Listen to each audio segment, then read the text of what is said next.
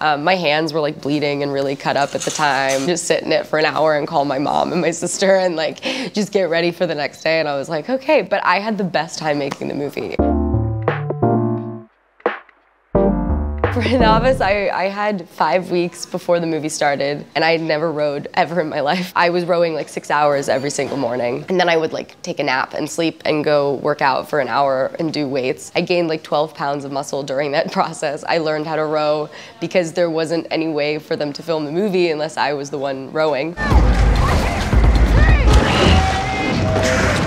And uh, there was a lot of falling into the water and flipping that boat like over and over and over again.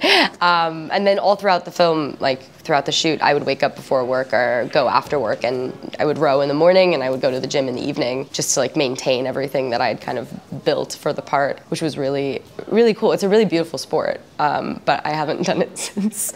I mean, like you're like the best novice. You're like the best novice all.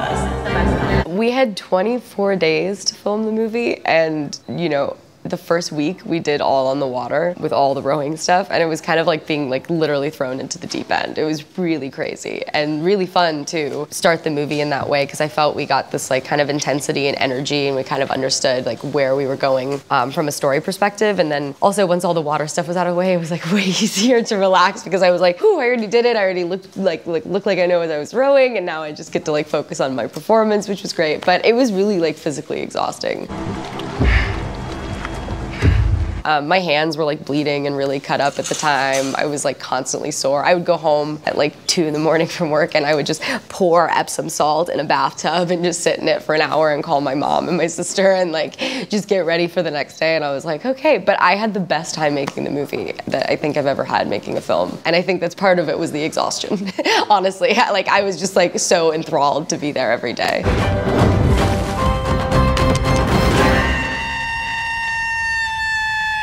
I mean, I never considered myself a sporty person, but I started running when I was younger, just like for fun, and then ended up really liking it. And uh, prior to doing the movie, I'd like I ran a marathon with some friends of mine, and then I actually wrote a letter to Lauren when I was like, "You have to hire me." I wrote her this letter after I sent her the audition tape, which was basically about this race that I did with um, seven of my friends. We ran from Los Angeles to uh, Las Vegas, which is 344 miles, and it was a relay race. But I ran like 60 miles of that race, and we all kind of like split it up, and it took over 50 hours. Like we were so exhausted, and I was like sending Lauren pictures of me like crying in the back of the car with like ice on my legs and the whole thing. And I was like, "This is why you have to hire me. It's because I can do this. Like I have the endurance to do this." But I don't think anything really prepared me for novice. Honestly, it was like a you know like a long race. It was like 24 days. Like I remember when I finished, I just slept for an entire week. I like didn't move. I was like, "Oh, oh my gosh!" I didn't realize how tired I was because you're just kind of going and going and going, and then when it's over, you're like, "Oh, whoa," which I think is kind of like true for the film as well in the story.